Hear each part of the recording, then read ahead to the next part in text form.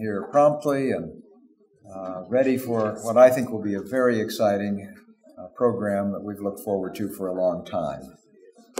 Uh, I'm Jack Welch, and I'm very honored to be able to welcome uh, Professor George Nickelsburg to Provo and here to Utah. Uh, we uh, have had a wonderful week together. Also, Jeff Bradshaw has come from Florida, and Gordon Thomasson from New Mexico. The rest of us are just local slackers, so but we're glad to have you all here. And I want to welcome you on behalf of uh, the new Temple Studies Academy, which is uh, also co sponsored by the Utah State University Religious Studies Center. And this event is co sponsored by BYU Studies.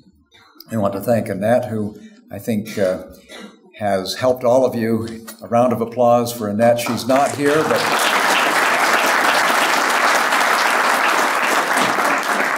Many people have made this possible, and I think all of you appreciate how much work goes into something like this.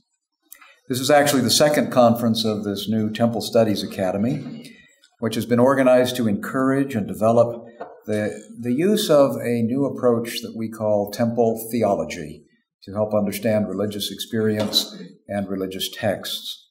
The proceedings of our first Temple Studies uh, program, which was in October, are available. If you were at that conference, you can pick up your copy of the proceedings, which were included in your registration fee then.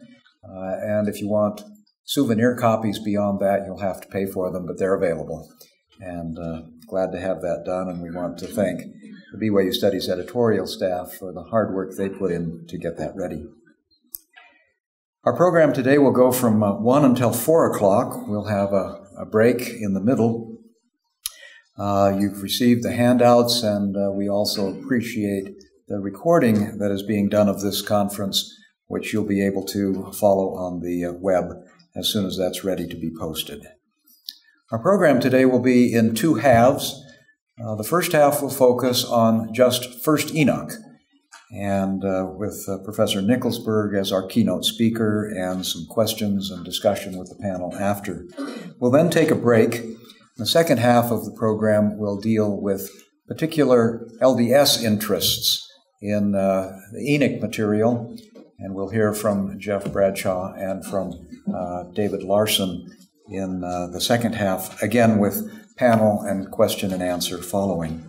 If any of you have questions that you uh, would like to pose, uh, Jim Summerhays has some three by five cards. We think the easiest way, which is what we did successfully in in Logan was to have people write your comments or questions.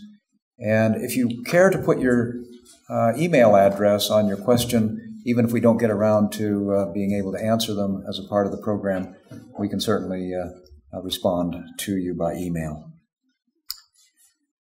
With that, I'd like to uh, ask Eric Huntsman to come forward and offer an invocation on the program. Jared Ludlow will then introduce George Nickelsburg, and we'll turn the time over to him.